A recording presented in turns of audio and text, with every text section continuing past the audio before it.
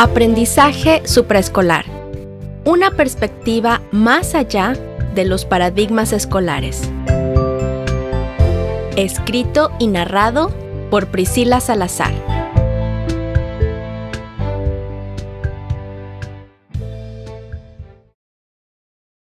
Capítulo 6. Primer pilar fundamental. Creando una conexión sólida.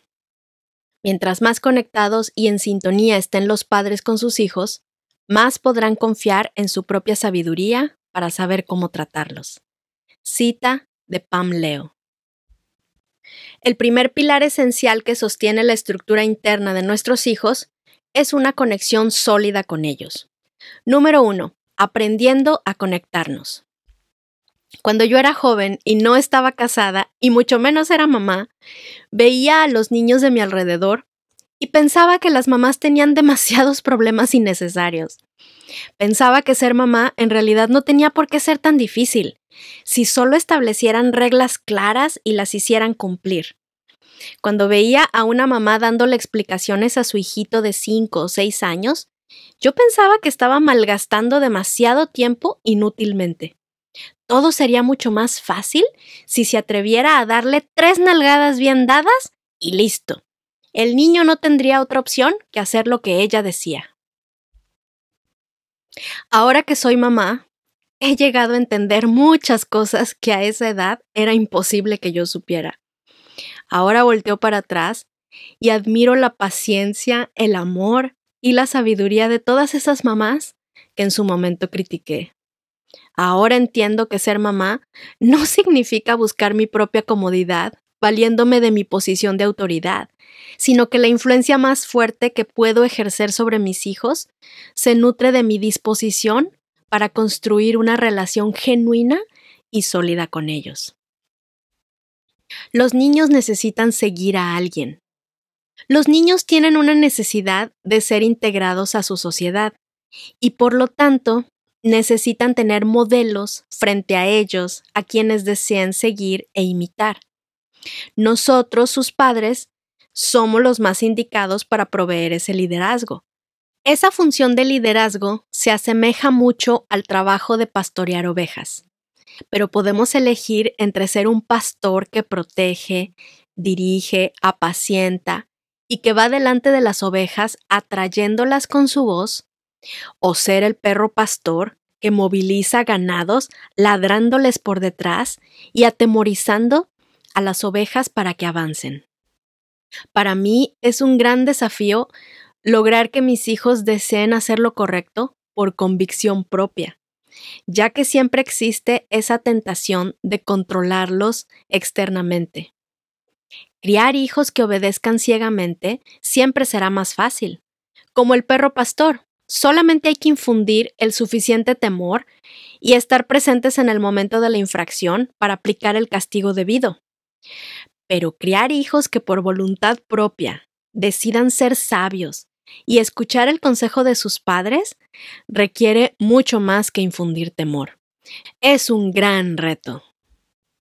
Es mejor atraer que empujar. Hacer que nuestros hijos nos sigan voluntariamente se logra aplicando una fuerza de atracción en vez de una fuerza de empuje.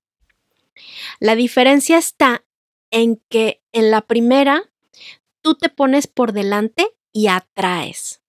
Y en la segunda, te pones por detrás y empujas. Una mamá que aplica fuerza de empuje se la pasa gritándoles a sus hijos para que le hagan caso. Anda detrás de ellos todo el tiempo repitiéndoles lo que tienen que hacer, los obliga por la fuerza a cumplir sus demandas y termina el día agotada, frustrada y enojada porque después de todo su esfuerzo, los niños siguen sin querer hacer las cosas voluntariamente. Por el contrario, una mamá que aplica fuerza de atracción es una mamá feliz, serena, que puede salir a la calle con la confianza de que cuando les llama a sus hijos, ellos vienen y atienden a su voz. Les pide que hagan las cosas una sola vez y ellos responden con solicitud. Los niños están tranquilos y contentos y son capaces de tomar decisiones correctas incluso cuando la mamá no está. El secreto es muy simple. Todo radica en crear una conexión sólida con ellos. Pam Leo, autora del libro Connection Parenting, que significa algo así como crianza basada en conexión, explica.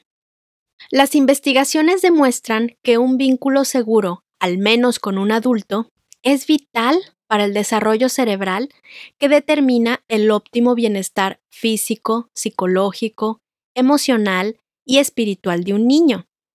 Nuestros niños necesitan conexión humana, un vínculo entre padre e hijo saludable y fuerte que se crea a través de una conexión consistente y cariñosa es esencial para el bienestar y desarrollo óptimo de nuestros niños. Este vínculo también es la clave de nuestra efectividad como padres. Fin de la cita. Cuando nos hemos invertido en crear una conexión profunda con nuestros hijos, antes de buscar comportamiento, modales o educación, ellos se sienten atraídos a nosotros como por un imán y anhelan seguir nuestra autoridad natural lo que nos proporciona una base sólida sobre la cual podemos construir todo lo demás. Una conexión sólida te brinda la capacidad de atraer y fascinar naturalmente, ganarte su confianza y luego guiar asertivamente. Existen muchas maneras en las que podemos acercarnos a nuestros hijos diariamente, y cada relación entre una mamá y su hijo es única. A continuación, te comparto las mejores y más significativas maneras en las que yo busco conectarme con mis hijos. Escuchar con atención. La atención para mí tiene dos caras. Por un lado, yo espero que mis hijos me den su atención, pero por el otro lado, yo se la doy a ellos sin regatear. Esto significa mantener una actitud constante de verdadero interés y aprecio por ellos, que todos mis sentidos estén presentes y no solamente mi cuerpo, mientras que mi mente vaga por otros mundos. Cuando me hablan, dejo de hacer lo que estoy haciendo. Los miro a los ojos, hago preguntas inteligentes y sinceras que les demuestren que verdaderamente estoy interesada y no me alejo hasta que estoy segura de que transmitieron su mensaje completo. Cuando yo hablo, les pido que me vean a los ojos, utilizo un lenguaje adecuado a su edad, hablo con claridad, con gestos faciales expresivos y me aseguro de que entendieron mi mensaje completo. El mal comportamiento en realidad es un síntoma de falta de atención. Cuando los niños interrumpen, hacen berrinches o están inquietos, está sonando la alarma de que su tanque de atención se está vaciando. Un niño bien atendido está tranquilo, seguro y feliz. Mantener las vías de comunicación abiertas y ventiladas, no obstruidas. Desde que mis hijos eran pequeños y no hablaban todavía, yo constantemente les platicaba, les narraba lo que estaba sucediendo a su alrededor, les describía lo que veían.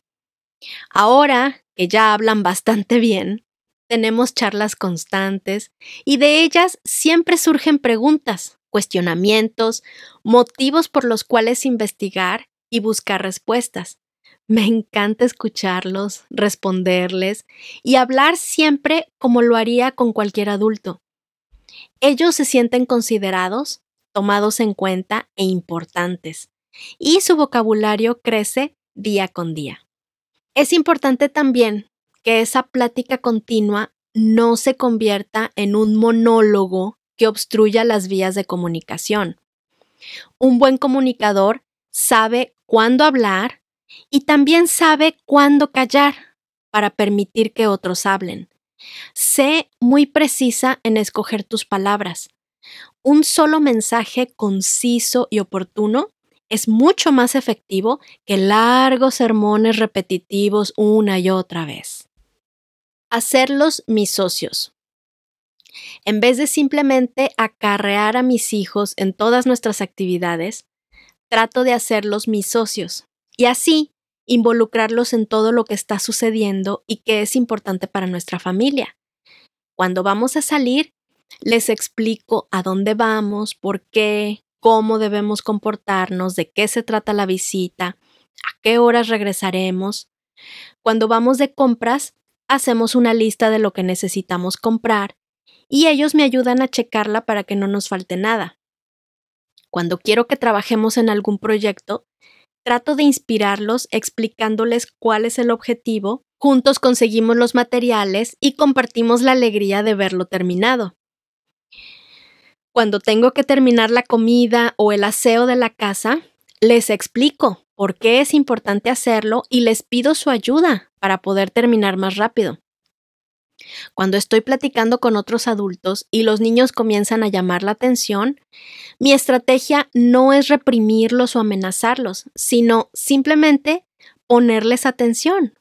Volteo a verlos, les hago comentarios, les explico lo que está pasando, los motivo para que escuchen la conversación de los adultos, les recuerdo que es importante escuchar y no interrumpir, y también preparo algunas actividades adecuadas para ellos en las que puedan estar ocupados en sus lugares mientras que los adultos conversamos. Si nos damos el tiempo de involucrar a nuestros niños y hacerlos sentir que son parte de lo que está sucediendo a su alrededor, que son nuestros cómplices, ellos muestran un deseo natural de cooperar. Muchas veces me han dado la solución a algún problema que yo no sabía cómo resolver. Además, es muy tranquilizador para mí tener la libertad de ir a cualquier lugar público sabiendo que mis hijos sabrán actuar apropiadamente. Invitarlos a acompañarme. A veces tenemos la idea de que pasar un tiempo agradable con nuestros hijos requiere de mucha planeación e incluso dinero. En mi experiencia, las pláticas más agradables y profundas que disfruté con mi familia se dieron durante un viaje aburrido al banco o a pagar el teléfono. De hecho, hasta la fecha, cada vez que mi papá dice, voy al banco, ¿alguien quiere acompañarme? Siento emoción de pensar en compartir un rato muy placentero platicando con él en el carro. Pasar tiempo valioso con tus hijos no tiene por qué ser costoso. Todo depende de tu habilidad y disposición para convertir actividades aburridas y monótonas en ocasiones muy especiales. Reforzar la identidad de clan. Toda esta dinámica de incluirlos y explicarles lo que sucede va creando una identidad de pertenencia, de equipo, de clan. Esa plática y ese compartir continuo hace que los niños deseen mantenerse cerca y pocas veces es necesario decirles que no se alejen en un lugar público. Tenemos en mente el concepto de que al ser un equipo, debemos protegernos y mantenernos juntos. Tomamos las decisiones en unanimidad, como cuando cada niño quiere hacer cosas diferentes, entonces hablamos y llegamos a algún acuerdo en el que todos queden contentos. Utiliza cada momento del día y cada actividad como una oportunidad para alimentar tu relación con tus hijos, su unidad, su mundo juntos. Explicar antes de exigir. Hace tiempo leí una ilustración que me gustó mucho.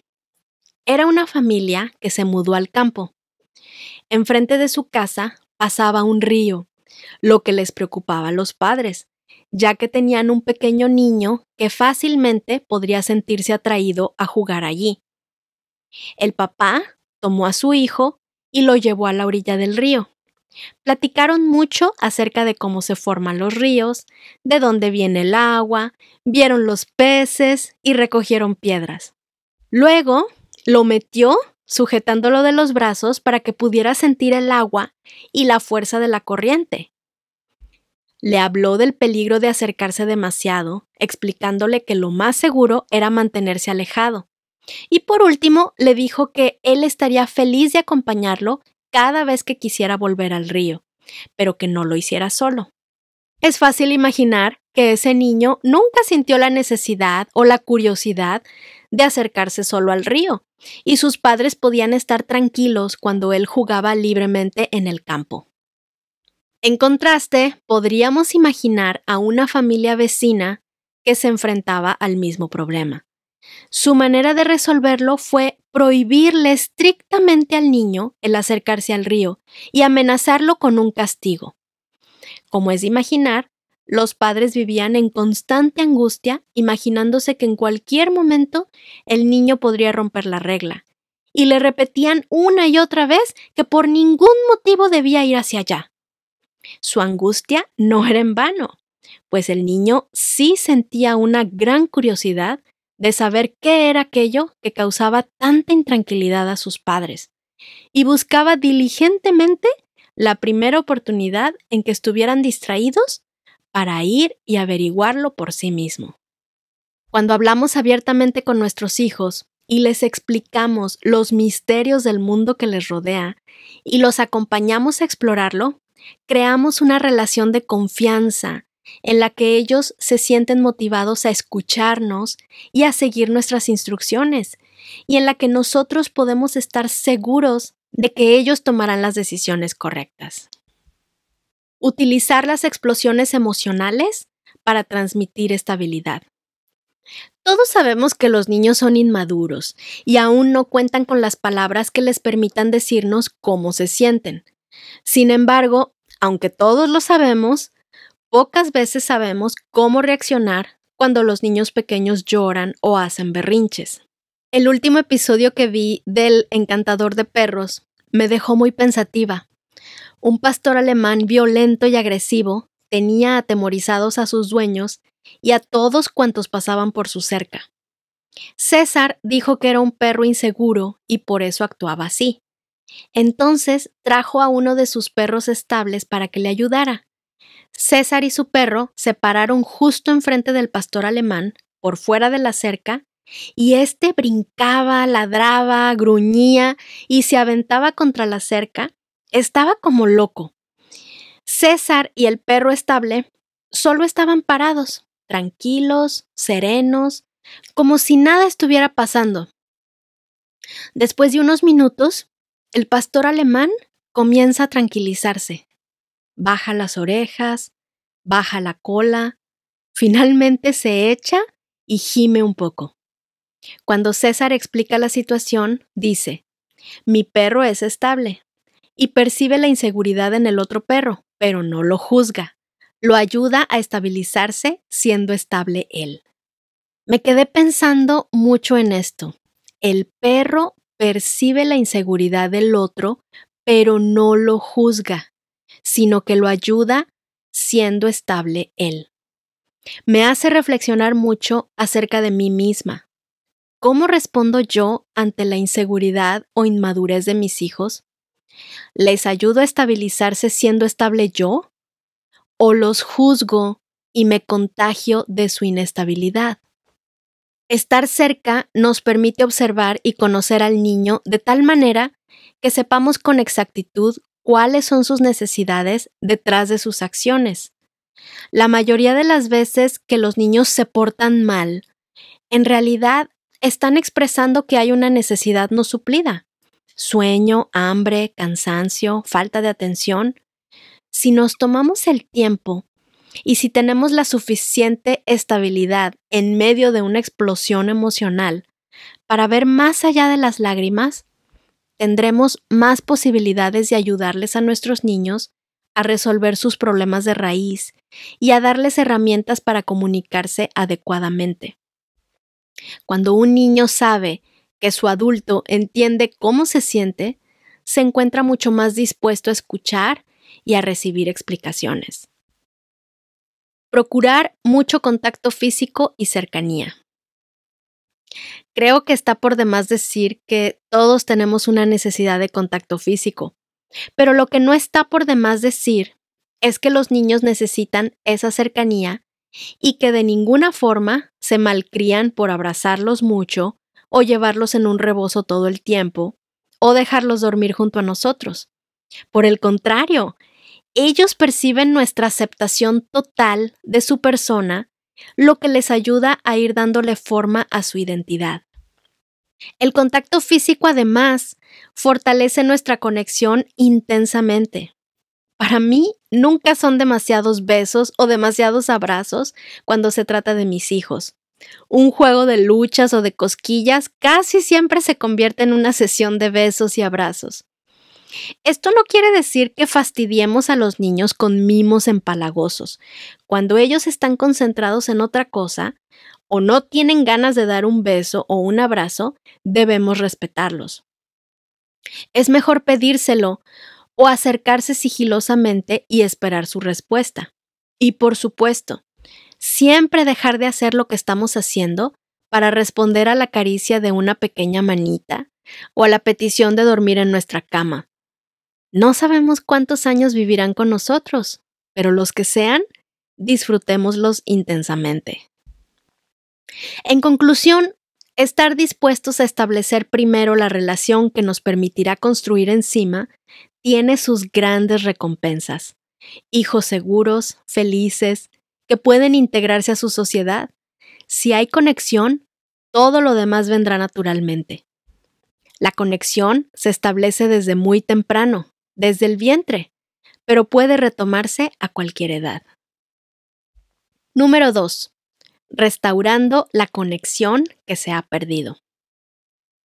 Cuando la conexión con tus hijos está agrietada o averiada, se manifiesta de manera distinta en niños pequeños y en niños mayorcitos o adolescentes, pero la raíz es la misma, una conexión deficiente.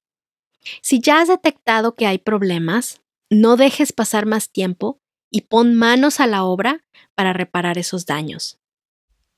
Recuperando la conexión con niños pequeños. En términos generales, es mucho más sencillo recuperar una conexión perdida con un niño pequeño que con un niño más grande. El reto más bien radica en mantenerla día con día, ya que debido a lo demandante que es vivir con niños pequeños, existe una tendencia por nuestra parte a buscar distractores que nos ayuden a aligerar la carga, pero que también en muchas ocasiones nos hacen perder el contacto con los niños.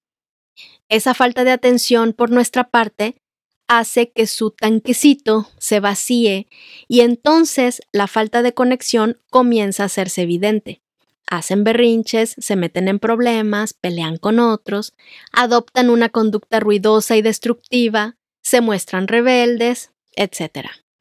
Si entendemos que esos comportamientos son provocados por la desconexión con nosotros, el paso lógico sería buscar restablecer esa conexión.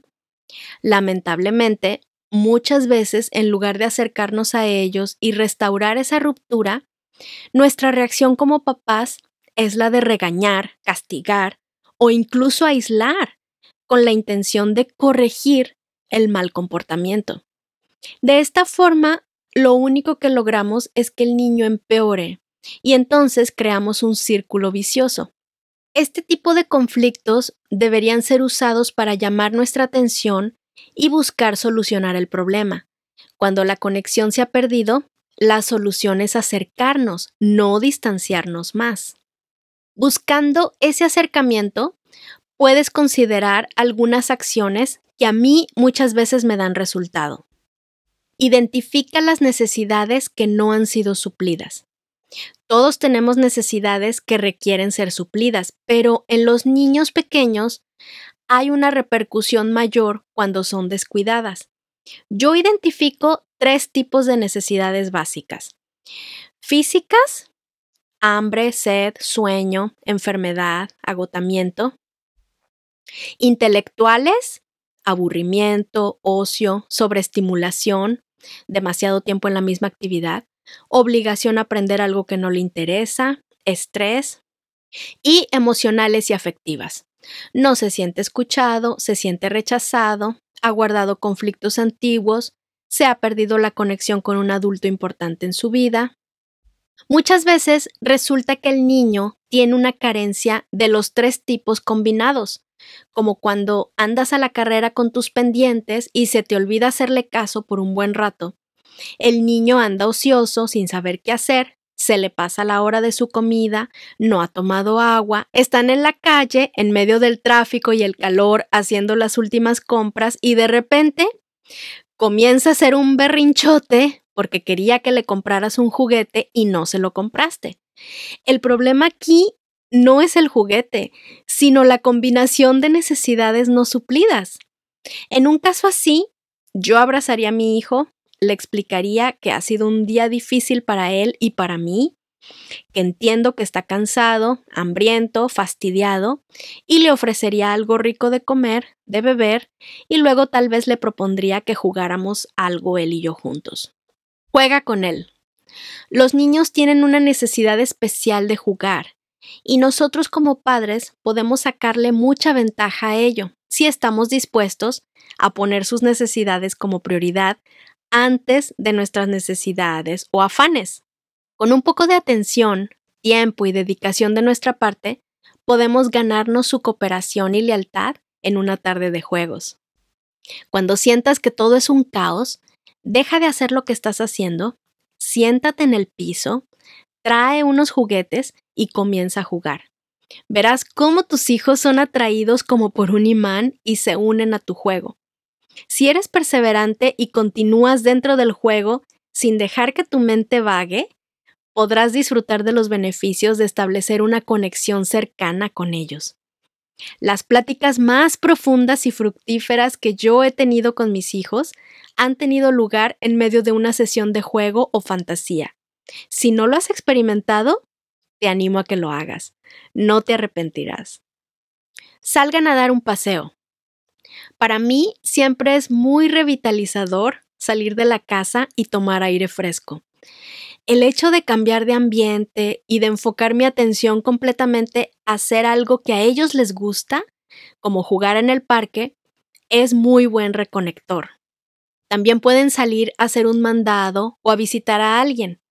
Tener una misión hace que todos se unan y aporten sus esfuerzos para lograr una meta común, lo que fortalece mucho sus relaciones. Cualquiera que sea la salida, procura que verdaderamente cumpla el objetivo, restablecer la conexión. Lean un libro o vean un video. Si, por el contrario, los niños están cansados de haber estado mucho tiempo fuera de la casa o haciendo actividades que requerían esfuerzo físico o mental, lo mejor será buscar una actividad relajante que no requiera mucho esfuerzo, pero que sí propicie la conexión entre todos. Ver un video o leer un libro juntos son actividades que les permiten a todos pensar en otras cosas a la vez que son buenas fuentes para generar conversaciones y convivencia. Ten cuidado de no utilizar la televisión como niñera. El objetivo es estar conectados, no ajenos, y la televisión puede ser un excelente medio de acercamiento, siempre y cuando estés presente comentando, aportando, orientando. Hagan una labor que requiera trabajar en equipo.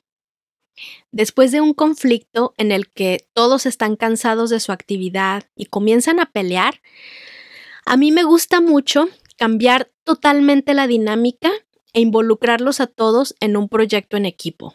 Por ejemplo, recoger todos los juguetes de la sala, organizar los CDs en sus cajas, hacer jugo de naranja para toda la familia, regar el pasto o sacudir los libreros. Casi siempre que uso esta técnica, al principio hay muchas quejas y resistencia. No obstante, yo me mantengo tranquila pero firme y los conduzco a que juntos hagamos esa actividad y les asigno tareas específicas. Después de unos minutos, los ánimos comienzan a relajarse y no sé por qué, pero el sentirse útiles y trabajando para un mismo fin les llena su tanque rápida y efectivamente. Todos comienzan a cambiar su actitud y trabajan con entusiasmo y al final nos quedamos con una sensación de satisfacción y bienestar y estamos listos para continuar con lo que sigue. Tomen un refrigerio. La comida siempre tiene un efecto relajante, especialmente en los niños. Asegúrate de tener siempre refrigerios saludables entre comidas y no te esperes a que los niños estén de mal humor para ofrecerles algo de comer. Utiliza la hora del refrigerio como una oportunidad para relajarse, para compartir, para platicar, para disfrutar. A mis hijos les encanta que hagamos picnics en el parque y aunque solo estén comiendo galletas o fruta, ellos disfrutan mucho el tiempo que pasamos juntos haciendo algo especial. También me gusta prepararles botanitas ricas, cuadritos de queso con palillo y rollitos de jamón o tostadas con frijolitos y queso rallado o palitos de zanahoria con guacamole son algunas de sus botanitas predilectas. El hecho de sentarse y comer algo rico y atractivo ofrece una nueva oportunidad para comenzar de nuevo y dejar los pleitos y los conflictos atrás. Lo ideal es mantenernos en un estado de conexión que nos permita vivir en armonía y paz, sin tener que pasar por un conflicto para volver a disfrutar de la cercanía. Sin embargo, para nosotras las mamás, hay muchos factores que pueden causarnos estrés en un día común y perdemos la calma fácilmente. Todas podemos desconectarnos en ratos y es válido. A mí me pasa muy seguido. Y hasta que tengo el conflicto en las manos, es que me doy cuenta de que una vez más perdí la conexión con los niños y entonces estoy sufriendo las consecuencias.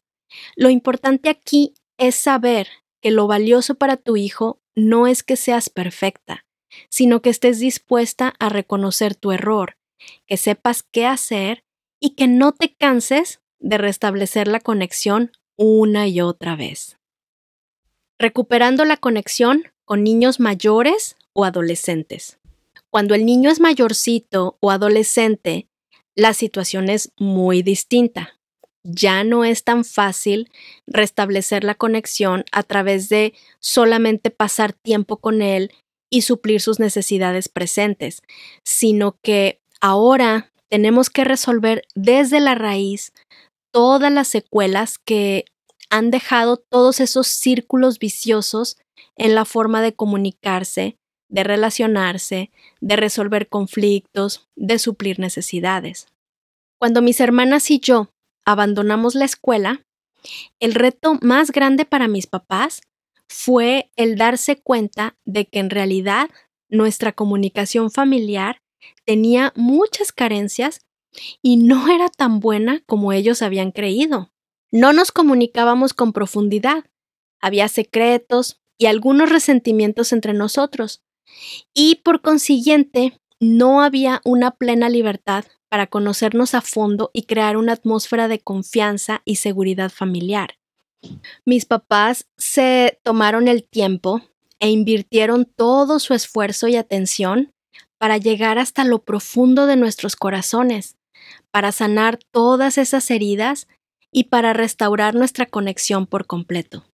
Aprendimos a pedir y dar perdón y a comunicarnos con libertad y profundidad, lo que nos fortaleció grandemente en amor y solidez familiar hasta la fecha.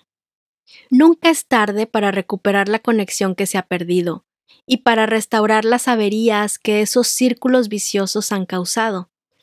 Lo único que se requiere es disposición y mucha perseverancia. Aquí hay algunas acciones que puedes realizar durante ese proceso. Tómate el tiempo de acercarte. En este proceso de buscar cercanía, no esperes a tener un rato libre o a estar más desahogado de trabajo, sino que deliberadamente tú haces el esfuerzo por dedicar tiempo, mucho tiempo, para estar cerca de tus hijos. Cancela citas, programa unas vacaciones, apaga la televisión, deja ese hobby que tanto tiempo te resta de tu familia. Desarrolla sensibilidad para aprovechar momentos espontáneos donde tienes oportunidad de acercarte. En lo cotidiano, cuando te hablen, deja la computadora, el teléfono o lo que estés haciendo y míralos a los ojos tanto para escucharlos como para hablarles. El objetivo es que tus hijos sientan que verdaderamente estás allí y que tu principal anhelo es acercarte a ellos. No enseñarles nada ni sermonearlos, sino simplemente estar allí, escucharlos, disfrutar de su compañía, que sepan que verdaderamente estás disponible para ellos. Yo crecí sabiendo que yo era lo más importante para mi papá y que él siempre estaría disponible para mí. Cuando le llamaba a su oficina, siempre me tomaba la llamada y se oía contento de escucharme. Si yo necesitaba algo, sabía que él era capaz de cancelar una junta importante con tal de venir a auxiliarme. De hecho, en una ocasión que él y mi mamá estaban por realizar un viaje de varios días, una noche anterior a la partida, yo tenía mucho miedo y no quería que se fueran. Después de platicar un rato y darse cuenta de que yo realmente no podría manejarlo sola, me dijo que iba a cancelar el viaje. Cuando vi que estaba dispuesto a hacer eso por mí, cambié de opinión y le dije que estaría bien y que podían irse tranquilos. Tal vez lo único que necesitaba era saber que yo realmente era lo más importante para ellos. Diles a tus hijos qué eres capaz de hacer por ellos. Y una vez que lo has dicho, prepárate, porque de seguro ellos te pondrán a prueba para comprobar si verdaderamente estás disponible para ellos. Establece la hora de la comida como una fiesta. A medida que los hijos comienzan a crecer, es común que cada quien comience a tener sus propias actividades y horarios, por lo que pocas veces coinciden para compartir la hora de la comida juntos. Y también, poco a poco, comienzan a distanciarse unos de otros. En mi casa, mi papá siempre se esforzó por estar durante la hora de la comida y procuraba hacer de ese tiempo un rato agradable y ameno en el que pudiéramos platicar. Hasta la fecha, la hora de la comida en mi casa es como una fiesta, un evento que todos esperamos con mucho entusiasmo y que todos disfrutamos profundamente. Ese es el momento cuando hay más disposición de hablar, de estar relajados y contentos. Habla con tus hijos y pídeles que todos organicen sus horarios para pasar al menos una comida al día juntos. No programes citas para esa hora y establezcanlo como un ritual que todos disfruten y anticipen con gusto. Procura no tocar temas incómodos. Más bien, enfócate en conocer a tus hijos, en escuchar sus anécdotas, en disfrutarlos, en reírte con ellos. Esa interacción diaria les ayudará a conocerse, a fortalecer su relación y también les servirá como ejercicio para pulir sus técnicas de comunicación. Cuando existe una relación cercana y saludable, también existen las vías para comunicar mensajes importantes. Desobstruye las vías de comunicación. Una vez que has decidido acercarte, es probable que descubras que las vías de comunicación con tu hijo están obstruidas. Esto quiere decir que, aunque hablan y hablan, los mensajes que realmente quieren transmitir no son recibidos o que hay ciertos temas que inmediatamente hacen estallar los conflictos, las acusaciones, los pleitos o incluso han llegado al punto en que no existe la comunicación. Solo son dos personas viviendo bajo el mismo techo, pero sin ningún vínculo que los una, más que el ser parientes. Necesitas comenzar dando pequeños pasos que poco a poco te permitirán entrar de nuevo en su corazón. Primero, tú debes ser consciente de esos vicios para que puedas dejar de practicarlos y luego puedas hablar de ello con tu hijo para que los dos lleguen a acuerdos en la forma de comunicarse. Pregúntale qué le molesta que tú hagas y escúchalo sin interrumpir y acepta lo que te diga. Juntos establezcan esos acuerdos y sé tú el primero en cumplirlos. No gritar, no usar palabras ofensivas, hablar civilizadamente, no usar sarcasmo ni burlas, no monologar, no dar sermones. Aprende a escuchar lo que te dice sin hacer un juicio de su inmadurez y sin justificarte. Toma tiempo para meditar lo que oíste desde la perspectiva de tu hijo, dándole valor a sus sentimientos y a su razonamiento. Identifica también cuáles son los temas detonantes de conflictos y resentimientos pasados y evítalos por ahora. El objetivo en este momento es comenzar a quitar los obstáculos y abrir una vía accesible a través de la cual puedan comunicarse efectivamente. Pide perdón. Estar dispuesto a reconocer tus errores delante de tus hijos aumenta tu credibilidad importantemente y te gana su respeto. Quizás no te acuerdes de tus ofensas pasadas, pero si realmente quieres arreglar las cosas, ármate de valor y exponte ante ellos. Pregúntales si existe algún resentimiento en su corazón hacia ti y pídeles que te lo cuenten todo. No hables, no te justifiques, no expliques nada. Solamente escucha pacientemente y escríbelo todo. Reconoce tus errores y pídeles perdón sinceramente, sin condicionarlo a que ellos reconozcan los suyos y trabaja en corregir esas actitudes. Compartan sus sueños. Pídele a tu hijo que te hable de sus anhelos, de lo que quiere lograr y ayúdalo a lograrlos. No lo critiques, no te angusties si es un pasatiempo que no lo llevará a nada. Aprovecha esos intereses para conectarte con él, para descubrir sus talentos y para guiarlo. Y tú también, platícale de tus propios sueños, de tus ambiciones, de cómo ves la vida, de lo que te preocupa. El objetivo es que ambos puedan abrir su corazón y encuentren un vínculo que los una más allá de simplemente llevar la misma sangre. Cuéntales de tu experiencia. Los hijos a veces no podemos imaginar que nuestros padres también fueron jóvenes y también pasaron por las mismas dificultades que nosotros. Sentimos que ellos siempre han sido adultos y no pueden entender por lo que estamos atravesando nosotros. Tómate el tiempo de platicarles de cuando eras niño o joven. Compárteles tus sentimientos, tu perspectiva de la vida a esa edad, tus temores, tus luchas. No uses tu experiencia para darles lecciones, solo permíteles echar un vistazo a tu pasado y deja que ellos se identifiquen contigo y sepan que en verdad entiendes por lo que ellos están pasando. Sé paciente. Sé consciente de que pueden pasar días, semanas o meses antes de que tus hijos vuelvan a querer hablar contigo o abrirte su corazón.